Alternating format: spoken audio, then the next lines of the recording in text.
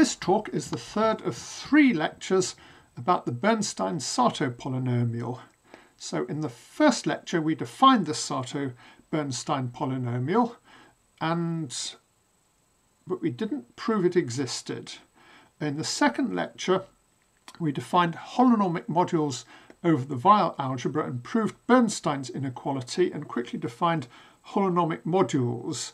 Um, what we're going to do this lecture is to study holonomic modules and um, use their properties to prove the existence of the Bernstein-Sato polynomial. So let's just recall what a holonomic module is. We have the Weyl algebra A, which is non-commutative polynomials in variables x1 to xn and their partial derivatives. So this is short for differentiation with respect to x1 and so on. And if M is a module over the Weyl algebra, Bernstein inequality showed that the dimension of M is at least n if n m is not equal to 0. Here the dimension of m doesn't mean its dimension as a vector space, which is usually infinite, but its dimension defined as the degree of a, a Hilbert polynomial associated to it. Um, so um, in the commutative case, um, modules have dimension at least zero, and the modules of dimension zero are all of finite length, at least if they're finitely generated. What we want to do is to show that something similar holds here, that the modules of finite length which are the holonomic modules. So holonomic is, means finitely generated plus dimension equals n or 0. The zero module is also considered to be holonomic. So what we want to do is to prove the first theorem. Holonomic modules have finite length.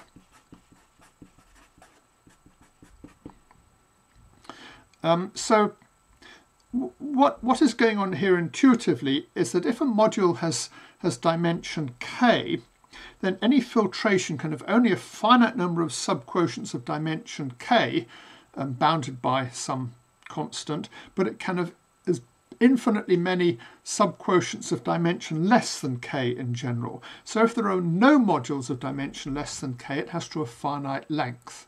Now, um, over commutative rings, the only interesting case is when k is equal to zero, in which case the module is zero dimensional and has finite length. In the non-commutative case, we get this funny bound due to Bernstein, showing that modules can't have dimension less than n, unless they're zero. And this means, this will turn out to mean the modules of dimension equal to n have finite length. And its proof isn't very difficult. So first of all, the Hilbert polynomial is additive on exact sequences, which is um, very easy to show. So the leading coefficient is additive on exact sequences. Um, for holonomic modules, um, as um, the, the Hilbert polynomial has dimension exactly equal to n unless it's zero. Um, if we weren't talking about holonomic modules, what might go wrong is that um, in an exact sequence, naught goes to A, goes to B, goes to C, goes to zero, one of these modules might actually have dimension less than the others, and then we couldn't really say very much about the relation between the leading coefficients because they would be coefficients of different um, degrees of monomials. But as long as A, B, and C all have the same dimension and the same leading coefficient, uh, the, the, the same highest degree, the leading coefficients must be additive. Well, um, um, so the multiplicity is additive. So you remember the multiplicity is the dimension factorial times the leading coefficient. And again, the multiplicity is certainly not additive if you if you don't work with modules that aren't of the smallest possible um, dimension, which is n in the, in the case of modules over the Weyl algebra. Um, and the point is that this multiplicity is always an integer greater than or equal to 0, and it's equal to 0 if and only if the module is 0. Um, so in particular, the, um, the length of a module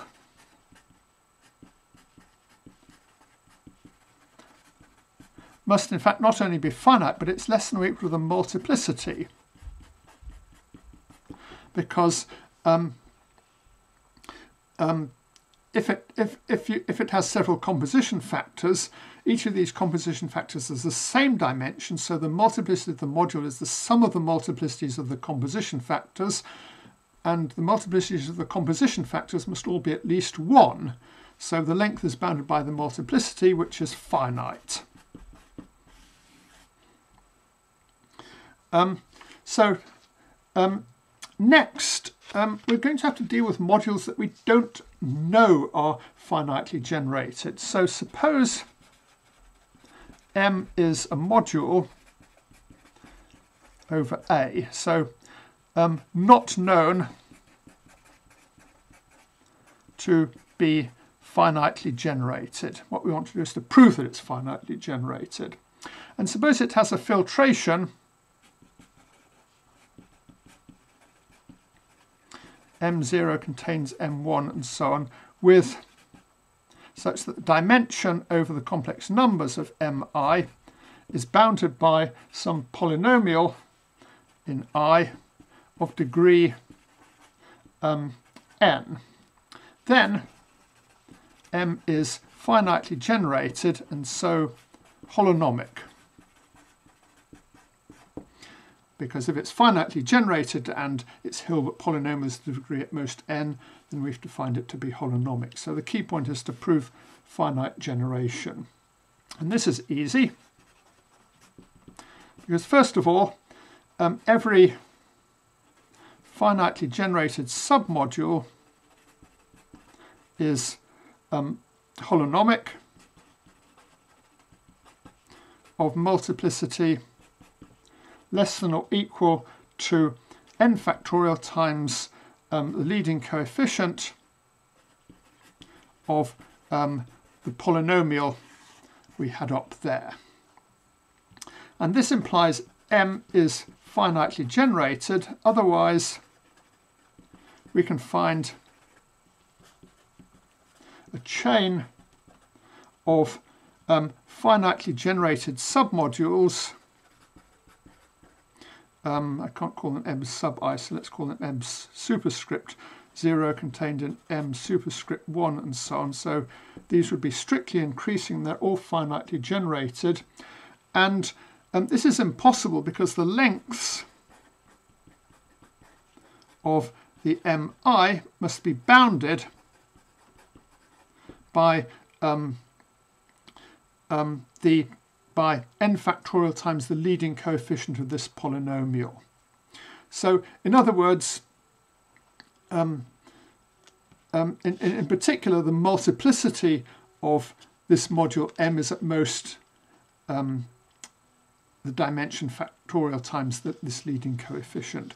So since we can't find an infinite chain of finitely generated submodules, this immediately implies that, that our module is finitely generated and therefore holonomic. Um, now we're going to have a corollary of this. Spell corollary. Um, let's let, let the module M be the um, ring of polynomials over the complex numbers. Um, now this is a module over the Weyl algebra because we can multiply these by polynomials and differentiate them. And I'm also going to add in p to the minus 1, where p is some polynomial. And um, if m is this, then m is holonomic. So if we didn't have the p to the minus 1, this would be kind of obvious because we could just work out the Hilbert polynomial of this. But, but if, we, if we allow inverses of a fixed polynomial, so we're localizing at one polynomial, then we've got to be a little bit more careful. So um, proof, we're going to define a filtration. We put mk is the set of all polynomials of form f over p to the k, where the degree of f is at most m plus 1 times k, where m is the degree of p. And then we see that aimk is contained in m um, k plus i, so we've got a perfectly good filtration. And we can also see that the dimension of mk is at most m plus 1 k plus n choose n. I've got that right. Um, which is a polynomial in k of degree um, less than or equal to n. So by the previous lemma,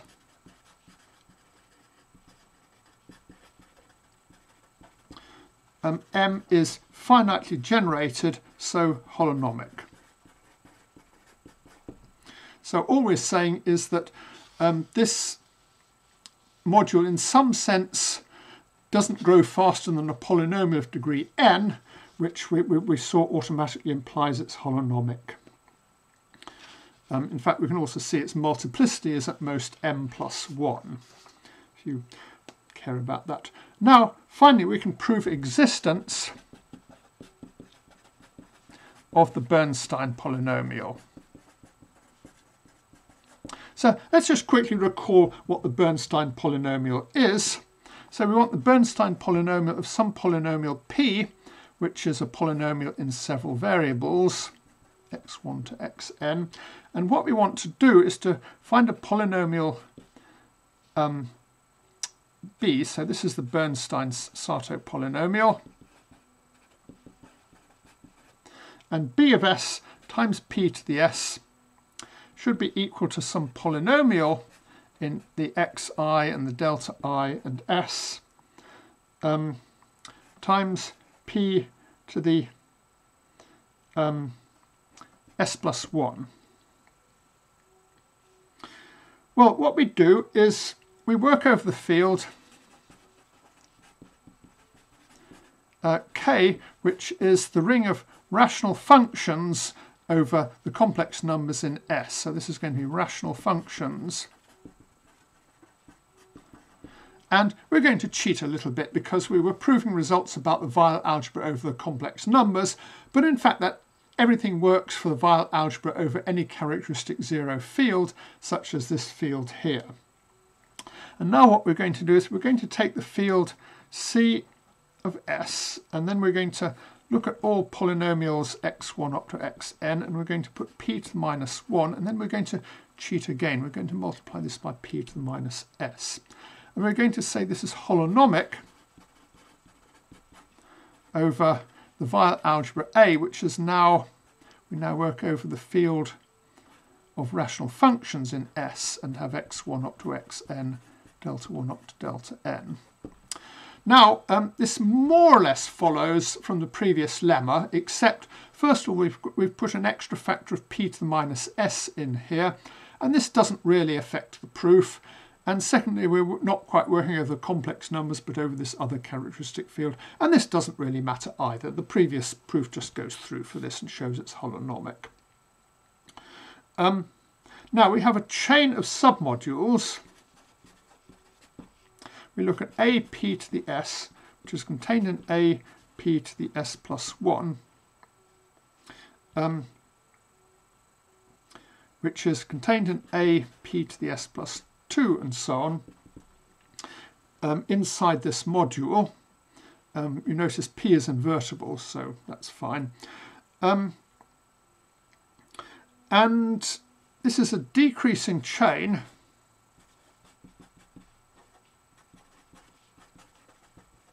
in a module of finite length.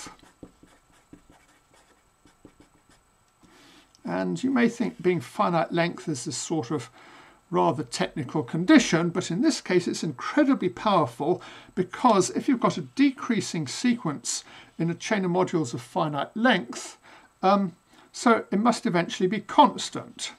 So it's eventually constant.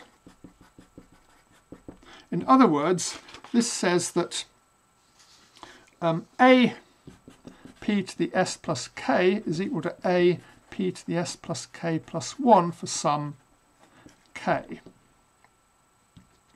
So p to the s plus k is equal to p to the s plus 1 plus k times some polynomial p in the xi and the delta i, where this uh, maybe calling it P isn't a terribly good a name. Let me call it Q so you don't get it muddled up with this P. Well, this is a, a, a, rash, a polynomial um, with coefficients in, and now the coefficients may actually be rational functions of S. Um, um, so p to the s is some um, um, p to the s is also some um, uh, polynomial in the xi and the delta i of p to the s plus 1 with coefficients in c to the s. We can just change s to s plus k. Makes it's quite harmless. Now, um, th these are rational functions in S. And we let Bs be a common denominator. So here we've got a polynomial, it's got only a finite number of coefficients. Each coefficient is a rational function, so we've got a finite number of denominators and we can multiply them all together and get this hugely complicated common denominator. And we just multiply by the common denominator and we get bs p to the s is now a polynomial in xi delta i and s times p to the s plus 1. So um, this is now a Bernstein Sato polynomial. So we found a, a property, a, polynom a polynomial B of S with the property that we needed for the Bernstein-Sato polynomial. If we apply, apply it to p to the s, we get some polynomial in these variables times p to the s plus 1. Um, so that proves the existence of the Bernstein-Sato polynomial.